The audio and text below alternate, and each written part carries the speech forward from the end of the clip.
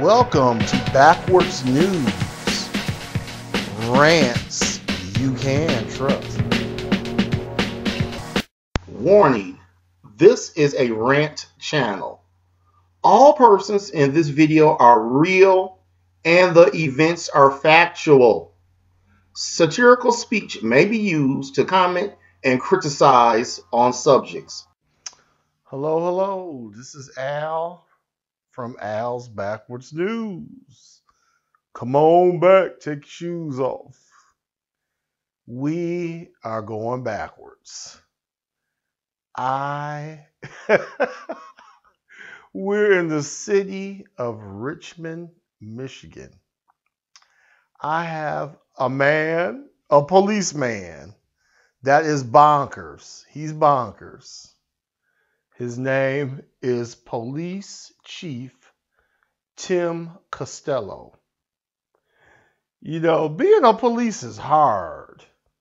It is hard, but Tim ate his Wheaties and read his books, and they made him the police chief this year.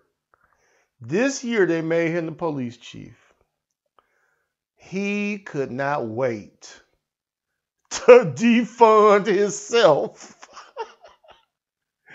this fool is trying to do abuse of power, uh, mishandling. Uh, he is doing everything wrong. He trying to defund himself. They have a police computer called LEIN.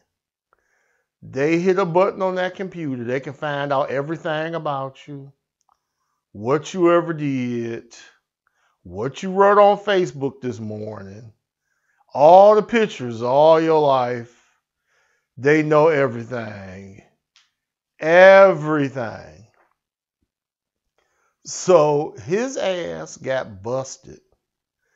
He using the police computer with this super database goes around the world. This fool think he is on a dating app. he using it for a dating app, trying to meet people and look up their background and look see what kind of food they like, see if, if he can hang out with them and go on a date. And how many kids they got and Uh, do they do the stars align? And it's he trying to get his hookup on. So some woman found out that that's how he met her through using a supercomputer to find out everything about her. That's how he met her. She put paper on him. She put paper on him, put in a complaint. They told him what is wrong with you? he is on leave. He may be defunded.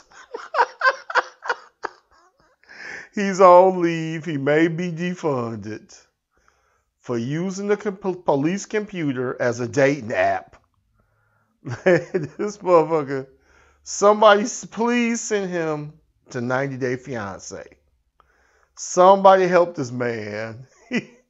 he's looking for love in all the wrong places. he just made it to police chief and he defunded himself. he defunded himself. If he come back and make it through this one alive, I think they're gonna have him washing cars. So he he is looking for a date. So ladies, call the Richmond Police Department. That's in Michigan. If you want a man that already knows everything about you and understands you, because he'd already looked your ass up. And I will see you on the next Backwards News.